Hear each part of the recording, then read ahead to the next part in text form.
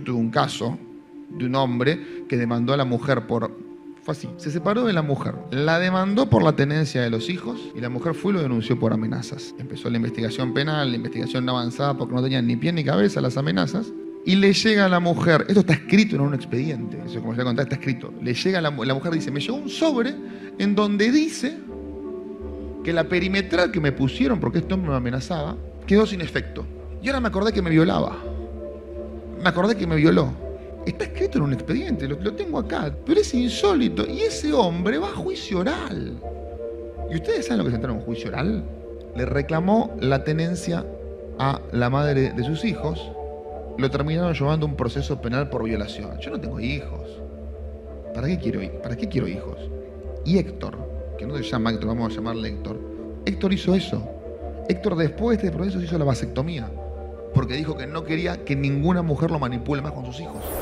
Cuando Sergio me llama para venir, digo, bueno, eh, me dice, ¿de qué, de qué te, le, digo, yo, ¿de qué tengo que hablar? Y me dice, de alguna cosa vinculada con la libertad. Digo, bueno, qué mejor que el derecho penal, porque, digamos, el derecho penal siempre se vincula con la libertad, pero se vincula con la libertad desde el lado equivocado. O sea, hay, hay partes del derecho penal que no, no se pueden ver. Y lo que ustedes no se estarán preguntando, pero yo sí me lo pregunto, y vamos a intentar darle una respuesta durante esta, durante esta conversación, durante este, esta conversación de ida solamente que va a haber, es cómo un abogado penalista termina siendo convocado a hablar como alguien del lado del bien, por llamarlo de algún modo, ¿no? Porque el abogado penalista normalmente está vinculado con defender personas con algún tipo de vínculo con el delito que si no son delincuentes coquetearon con el delito, que si no, aún así son mal vistos, porque uno dice, el común denominador de la sociedad, al, al, imputado dice, ah, por algo será. A mí no me llevaron, ¿eh? Pero señora, no tenía nada que ver, estaba en el lugar, no sé, yo, tampoco, yo nunca estuve en el lugar equivocado en el momento equivocado. Entonces, uno se pregunta por qué. Y porque ustedes empezaron a dar cuenta, casi sin saberlo, casi a un nivel sensorial, diría un psicólogo declarando en un juicio, ¿no? O sea, uno le pregunta al psicólogo, pero ¿cómo puede ser que usted tenga señales de que el hecho ocurrió si la denunciante dice que no lo recuerda? No, pero su cuerpo sí. ¿Y su cuerpo cómo se expresa? A través del inconsciente. ¿Y usted cómo lo ve? ¿De qué color es el inconsciente? Bueno, así una vez me sancionaron por hacer esas preguntas, porque decían que era irrespetuoso. Digo, no, a ver, si me dice que su cuerpo se expresa por algo distinto que palabras, bueno, que me diga cómo es, porque lo queremos ver todo. Estamos en un juicio y un jurado lo tiene que entender el jurado, no, no, no lo tengo que entender yo. Y bueno, ¿y esto por qué ocurre? O sea, ¿por qué termina estando un abogado penalista acá? Bueno, ya lo vamos a ir viendo, pero lo primero que quiero dejar sentado es que el proceso penal, porque ustedes tienen que diferenciar el derecho penal, el proceso penal y la criminología. El derecho penal son las reglas de la sociedad, es como en el fútbol, lo que se puede hacer y lo que no. ¿Puedo meter un gol con la mano? No. ¿Puedo matar a otro? No. Bueno, eso es el derecho penal. El proceso penal es cómo hacemos para que una persona que está sospechada de haber matado a otro o de haber hecho un gol con la mano, sancionarlo. Bueno, en el fútbol ¿qué ocurre? El juez de línea lo marca, viene el referee y lo sanciona. Y si el referee no le queda muy claro, pide el bar. Y lo miran por la pantallita y lo sancionan. Eh, hay un, eso es un trámite, un proceso, como ocurre en el proceso penal. Y el derecho penal, la pregunta es, ¿qué es lo que sanciona? ¿Cuál es la finalidad del derecho penal? Bueno, el derecho penal existe con una, una finalidad muy clara, como ustedes se pueden ver, para verticalizar la sociedad, para que haya un determinado modelo de sociedad. Yo tengo una sociedad en la cual se persigue el robo, bueno, yo protejo la propiedad privada, la considero valiosa. O mejor dicho, protejo la expectativa de comportamiento que tengo yo de que, al lado no, de que el de al lado no me robe. Porque como dice un autor alemán, si el derecho penal regula el comportamiento de las personas, nunca puede proteger cosas. Lo que protege son expectativas de comportamiento. Entonces, lo que se intenta hacer es formar un modelo de sociedad. Pero ¿cuál es el problema? No está mal que se persiga a la persona que comete un delito. Por supuesto que no está mal, tenemos que, tiene que haber premios y castigos. Si no agarramos una bandera roja, le ponemos una estrella amarilla, una hoz y un martillo y ya está. Y no hay ni premios ni castigos y no pasa nada, es todo igual, todo da lo mismo, estamos todos equiparados. No, no, tiene que haber premios y castigos. ¿Qué pasa? Que esa, es los, que siguen esa bandera roja, con una hoz, un martillo y una, bandera, y una estrella amarilla, dicen, no, bueno, pero los premios y castigos los voy a poner yo como quiero. Yo voy a estipular a quién premio y a quién castigo. Y acá es donde aparece la víctima. Cuando ustedes, normalmente cuando uno ve en televisión, robaron a Pepito, violaron a Menganita, mataron a Juancito, uno se pone del lado de la víctima, porque dice, pobre víctima, el delincuente, no lo vamos a defender, pero ¿qué puede ocurrir? Puede ocurrir, sobre todo en estos casos que se dan en estos últimos tiempos, estos abusos sexuales, que nunca queda muy en claro qué pasó, no hay ninguna prueba, es el relato de la víctima, de la víctima que ya se llama víctima desde el principio. Yo incluso tuve un caso hace poco menos de un mes en el cual el acusado salió absuelto. Era tan absurda la acusación que el mismo fiscal pidió la, absolución, pero cuando alegaba seguía llamando víctima a la víctima. Dice, no, bueno, porque en realidad la declaración de la víctima no ha podido ser corroborada y en cambio el imputado ha dicho que no ocurrieron los hechos del modo que la víctima cuenta y cuando, cuando el juez me da la oportunidad de alegar a mí, Digo que no, que en realidad no tengo más nada que agregar, que si la fiscalía pidió la absolución no puede haber condena. Lo único que me llama poderosamente la atención, que aún considerando a mi cliente, la gente siga llamando víctima a la víctima. O sea, ya no, es víctima, es una mentirosa, la víctima es él, de un falso testimonio. Entonces, ¿qué es lo que ocurre? Lo que tienen que tener presente es que el Estado lo que pretende es utilizar a la víctima para empoderarse a sí mismo y perseguir a quien quiere perseguir por lo que quiere perseguirle. ¿Por qué digo esto? Porque en el proceso penal quien persigue no es la víctima, es el Estado. Esto es muy importante que se entienda.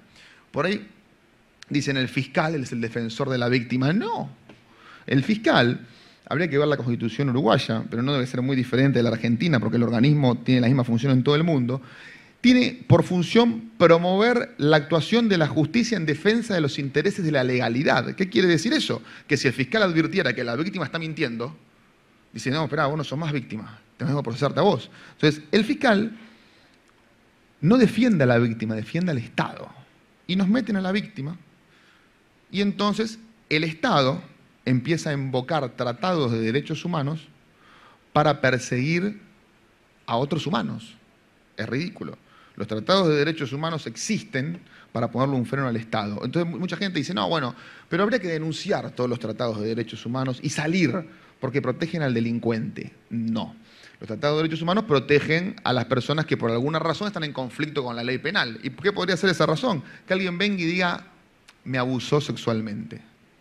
No es me violó, porque si fuera me violó, bueno, podríamos ir a las pericias médicas y demás y podría haber un, parámetro objetivo. Me abusó sexualmente, ¿dónde? ¿En un baño? ¿De dónde? De una terminal de micro. Pero usted no estaba en esa terminal de micro. Y es que lo que pasa es que por el trauma del hecho, no, no recuerdo con precisión, pudo haber sido una terminal de micro. Y en ese momento, cuando el defensor va y dice, bueno, pero la Convención Americana de Derechos Humanos dice que el imputado tiene el derecho a que se le presuma inocente. Ah, no, no, no, no. Pero tenemos la Convención de Belém do Pará que dice que hay que prevenir, sancionar y castigar la violencia contra las mujeres. Correcto, sí, pero acá no hay violencia contra las mujeres. ¿Cómo que no hay violencia contra las mujeres? Y no, si dijo que estaba en la terminal de, no sé, retiro y se demostró que en ese momento estaba en Palermo. Eso es violencia contra la mujer, eso hay que perseguir. ¿Por qué? Le está acusando de mentirosa. No, no, no, lo estoy acusando de mentirosa. Los hechos me lo están demostrando. Estoy relatando un hecho. Bueno, y de esa forma, el Estado empieza a perseguir. ¿Y a quién? ¿Y, cómo se persigue? ¿A quién persigue el Estado? El Estado persigue al disidente, no al delincuente. El Estado persigue a aquella persona que quiere perseguir para verticalizar la sociedad. Hoy tenemos claramente, claramente cuando uno prende la televisión, lee un diario, puede advertir que hay una intención de controlar la población mundial. Punto. O sea, pero, pero no, es, no, es, no es una teoría conspirativa ayer estaba viendo en Twitter y decía que la población mundial llegó a 8 mil millones. Había un contador que estaba pasando. Eh, la ONU lo dijo abiertamente hasta el Cairo en 1994. había, había conferencias para controlar la población mundial. En el Cairo en 1994 lo, transforman en derechos de las minorías. Entonces, hoy claramente lo que se persigue es controlar esta población mundial. ¿Y cómo se la controla? Bueno, a través del aborto, a través de la promoción de la, de la homosexualidad. Y ojo que hay una cuestión que es muy importante.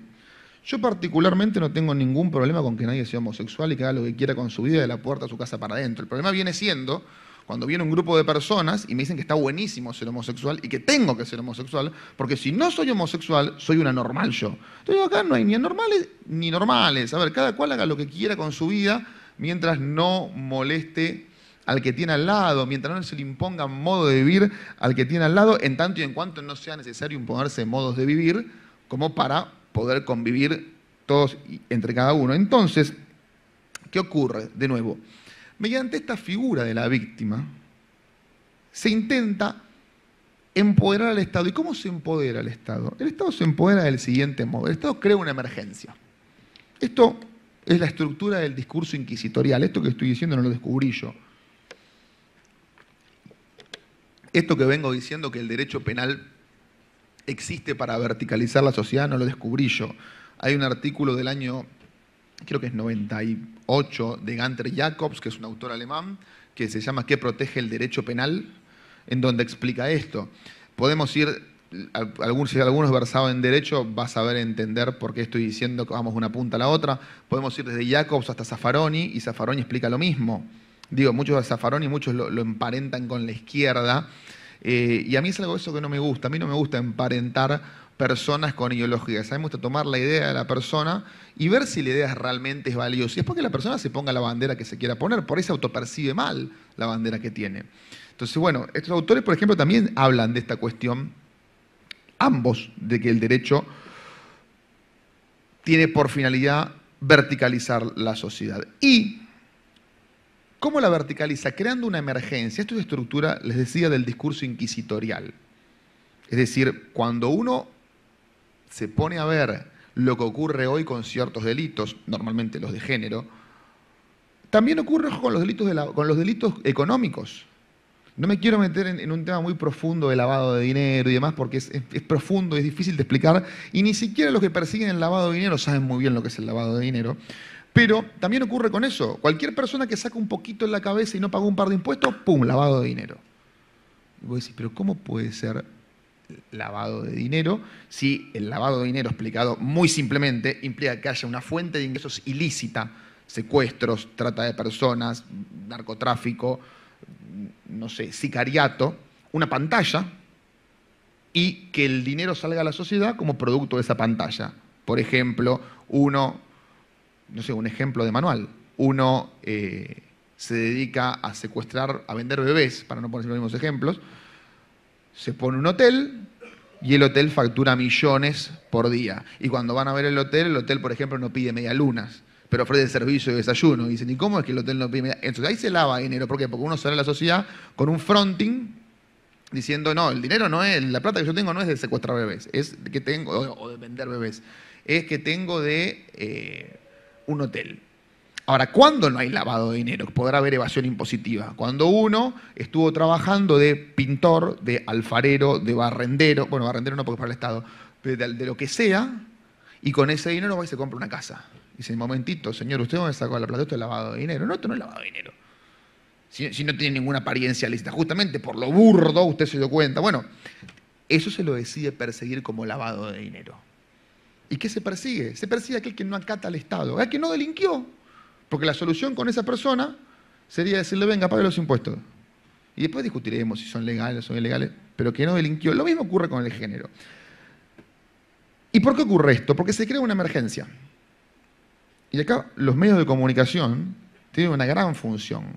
O sea, mi papá, mi papá es gaucho. Creo que acá en Uruguay también hay gauchos.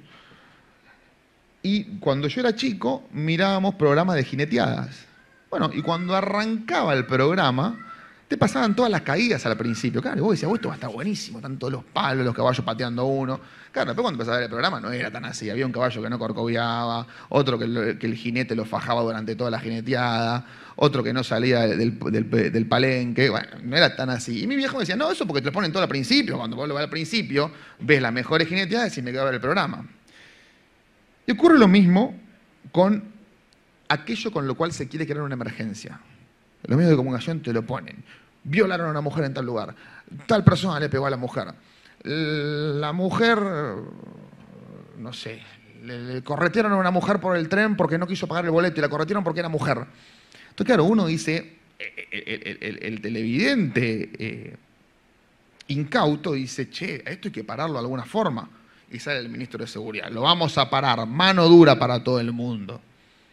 Bárbaro, yo estoy de acuerdo, mano dura. Y hay parte que no se dan cuenta. Que si uno quiere prevenir un dolor de cabeza, uno no toma aspirina. La aspirina la toma después del dolor de cabeza. Si uno quiere prevenir un dolor de cabeza, mira el celular desde más de lejos, tiene una mejor postura, no sé, si algún médico me podrá explicar cómo se previene un dolor de cabeza. Pero la aspirina viene después del dolor de cabeza. Y el derecho penal viene después del delito. La mano dura viene después del delito. Otra cosa es la prevención. Pero el castigo penal. ¿Y cuál es el problema con esa mano dura? El problema es que, ¿qué termina ocurriendo? Que estamos todos de acuerdo con que se persiga ferozmente a los delitos de género o a los delitos de lavado, porque afectan a la sociedad, porque está mal, porque tiene que ser así. Pero un día estamos en el supermercado y escuchamos que viene la pocha y dice, ¿viste que se lo llevaron preso al hijo de Juancito? ¿Y por qué? Porque le pegaba a la mujer. ¿Cómo le pegaba a la mujer? Es un chico buenísimo.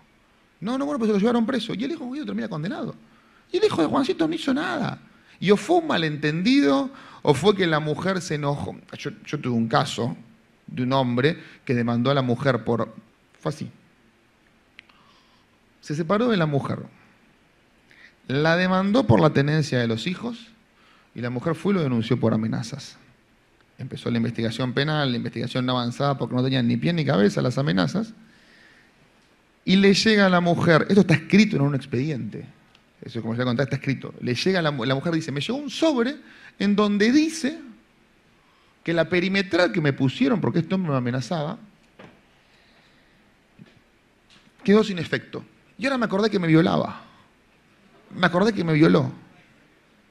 Está escrito en un expediente, lo, tengo acá. Me tardaría mucho tiempo en buscarlo y aparte violaría secreto profesional si les muestro el nombre y demás.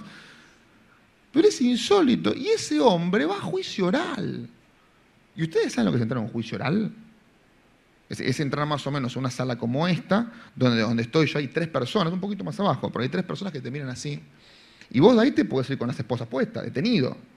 No es una que decir, ah, pues yo soy inocente. Sí, yo soy inocente. Ahora es como que vos, vos midas un metro noventa y pedes 100 kilos y te van a agarrar a trompada con uno que mide un metro setenta y pesa 70 kilos. Decís, che, sí, yo debería ganar, pero este pibe por ahí me pega un piñón y me apagó la cámara. Entonces lo mismo ocurre en el proceso penal. Sí, yo, mira, debería ganar, pero el juez se peleó con la mujer y a mí me condenan hoy. Y lo peor de todo esto es que cuando el juez lo manda a juicio, cuando, cuando la primera instancia lo manda a juicio, cuando el, juez de instrucción, dice que no desconoce que en cada movimiento que había en la causa de familia las hostilidades en la causa penal recrudecían, pero lo manda a juicio. No dice, como hay duda, no vaya a juicio. No, no, lo manda a juicio. ¿Y esto por qué ocurre? Digamos, porque se afecta la independencia del juez. El juez no es independiente. O sea, la, primera venta que me interesaba a mí con esta comparación, sacar de los ojos, es que el derecho penal no está para perseguir delincuentes, está para perseguir a quien yo quiero perseguir, al mártir de turno para crear el tipo de sociedad que quiero, sea o no sea delincuente. Muchas veces, es más, son pocas las personas que defendí que eran culpables de lo que se lo acusaban. Había algunos que no eran culpables de nada, había muchos que no, o hay muchos que no son personas que se dediquen a la actividad lícita, pero no hicieron lo que lo acusan. El derecho penal, de lo que no le importa castigar al, culpable, le importa castigar a aquel que es necesario castigar para que la sociedad quede configurada de una determinada manera. Y a través de esta creación de la emergencia y del bombeo mediático de la emergencia, ficta, ficta o real. Puede haber una emergencia real, pero el, problema que hay es que el derecho penal no soluciona la emergencia.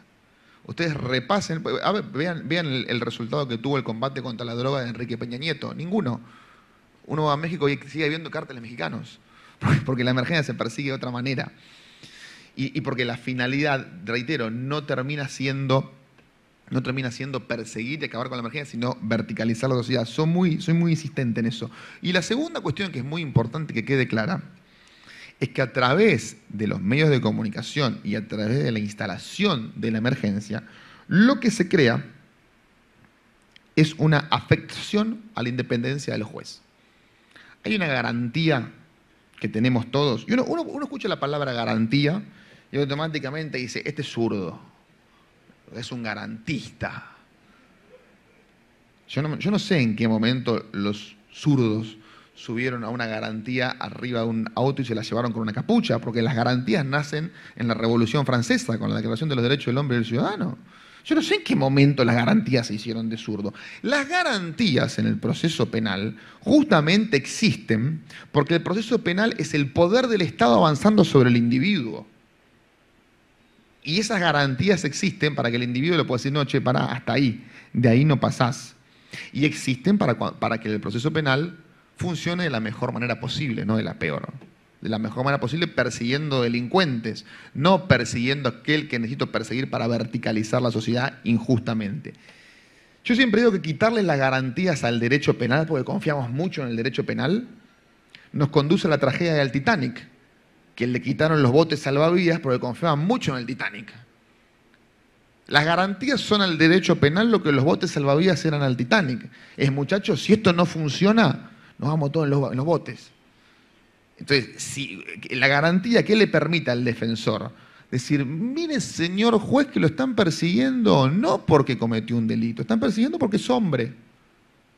Lo están persiguiendo porque tuvo la osadía de, de pedirle la tenencia de los hijos a su mujer. Lo están persiguiendo porque tuvo la osadía de deconstruirse, que es lo que le están pidiendo que haga.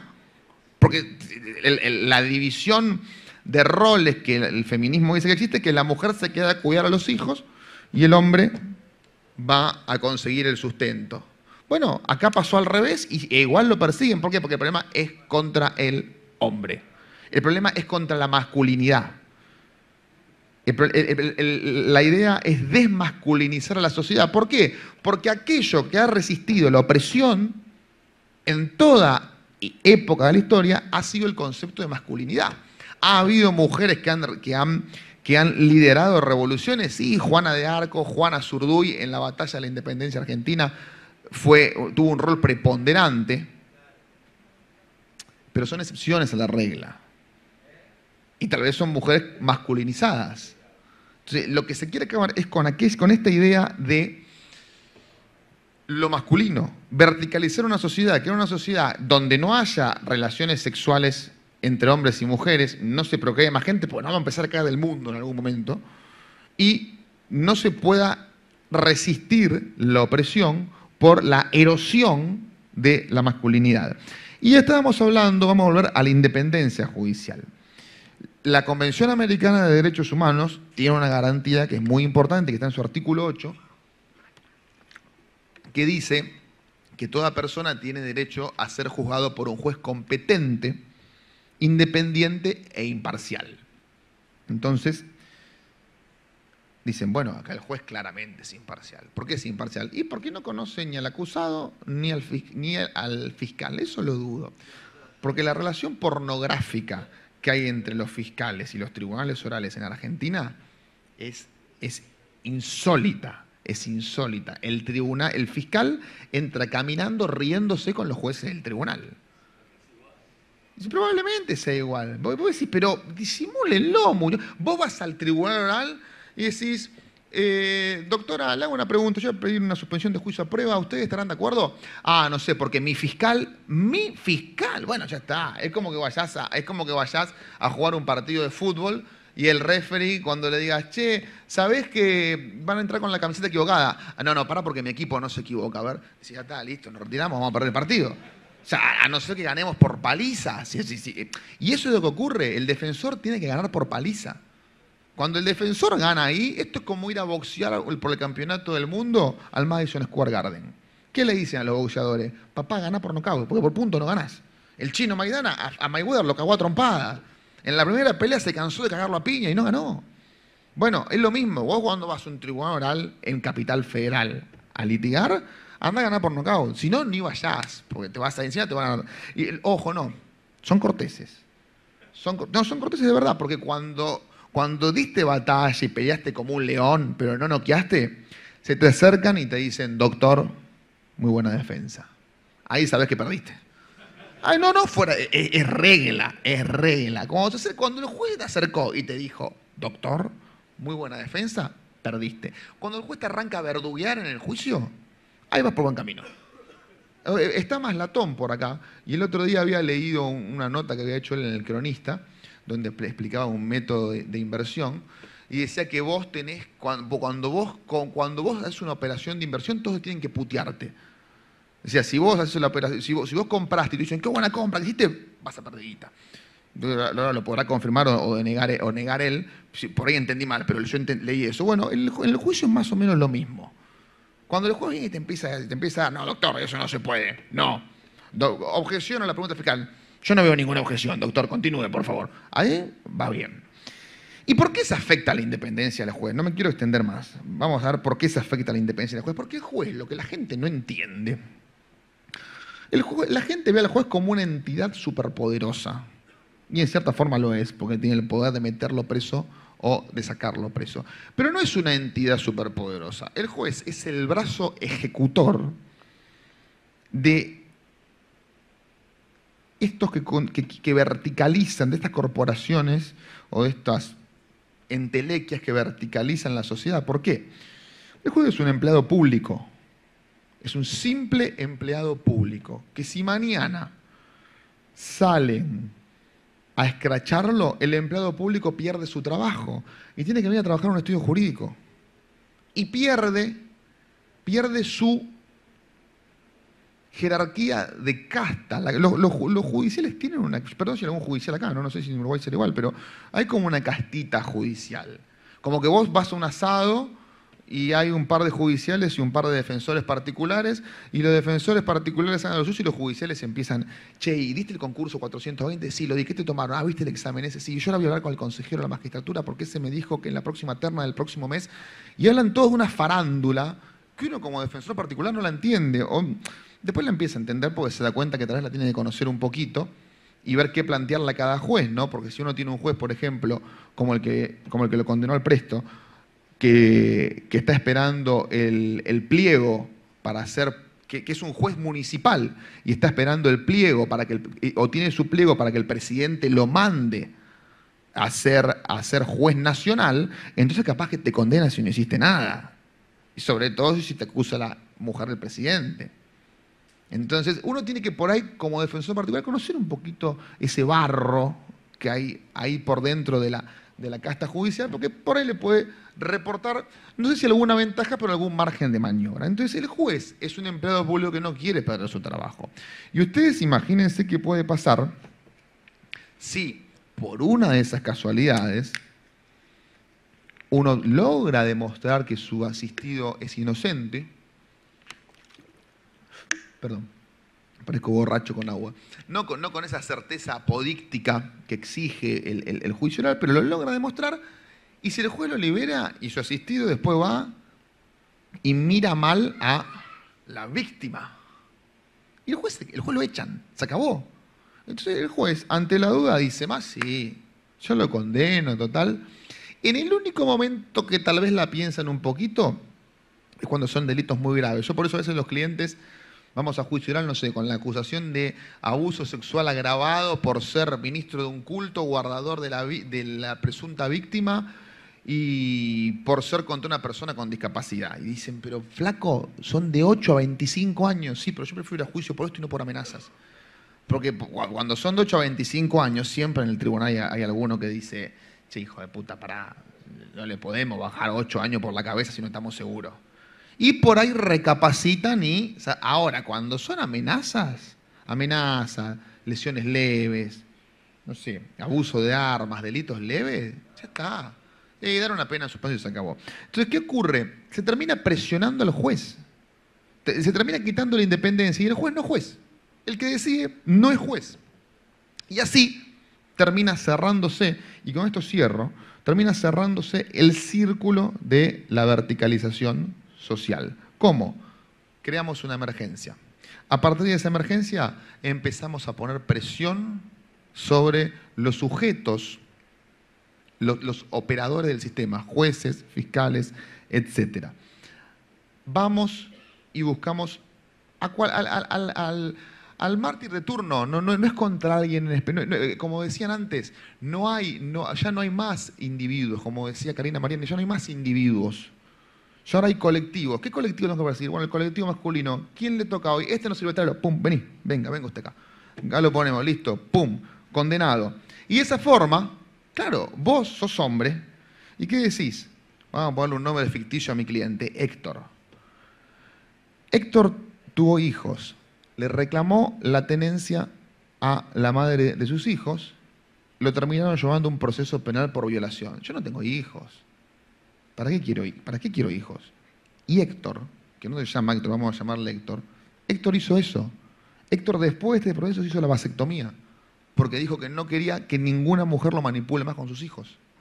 Entonces, eso, fíjense cómo se terminó consiguiendo el control de natalidad a través del proceso penal. ¿Cómo se terminó verticalizando la sociedad? ¿Cómo me terminó diciendo, yo no quiero ser más masculino?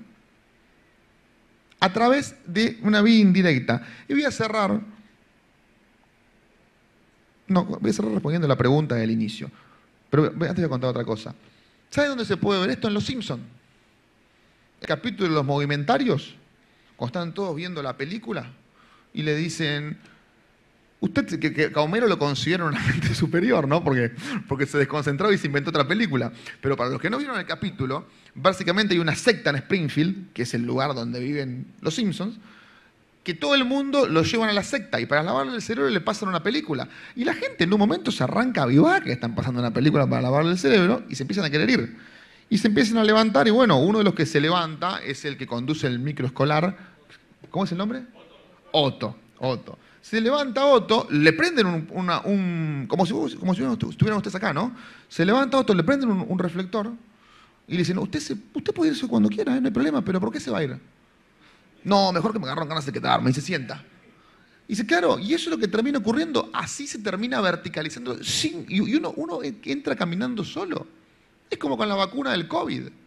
No, no me quiero la vacuna, que tiene imán, que esto, que lo otro no te des la vacuna, vos sos libre de elegir. Lo único, mirá, para proteger a todos ellos, no vas a poder ir a Europa. Bueno, dame la vacuna, dale a Europa. Y vas solito, y vas solito. Y vos sabés qué haces, terminás siendo orwelliano. ¿Por qué? Porque vos tenés un conflicto con tu mujer. X conflicto, ¿no? Yo no tengo ninguno con la mía que está por ahí, pero X conflicto, tenés el que sea y mañana te llaman a declarar a un juicio para ser testigo a favor de Héctor. Le, le, preguntan, señor, eh, ¿usted la, conoce la pareja de Héctor? Sí, la conozco. ¿Cómo no la voy a conocer? ¿Cómo la conoce? Sí, sí, la conozco. ¿Y, ¿Y, qué le parece? ¿Una chica excelente? ¿Héctor es un violento? Claro, ¿por qué? Porque si, a ver, me la van a poner a mí, si no. Y aplica la teoría del chivo expiatorio. Yo sacrifico al chivo para quedarme tranquilo de que yo soy el grupo de los buenos. Y así se termina generando esta, esta estratificación social y se termina utilizando el derecho penal no para perseguir al que hay que perseguir, para perseguir aquel que tenemos que perseguir para que la sociedad sea como queremos. Y esto nos responde la pregunta de qué hace un defensor penal sentado en una charla del lado del bien. ¿Qué hace? Bueno, porque se empezaron a dar cuenta, y eso es bueno, y espero que ahora quede más claro que nunca, que en realidad a, nivel sensaciones, la gente se empezó a dar cuenta que el derecho penal no existe para castigar delincuentes, sino para disciplinar ciudadanos. Espero haber sido claro y que les haya gustado.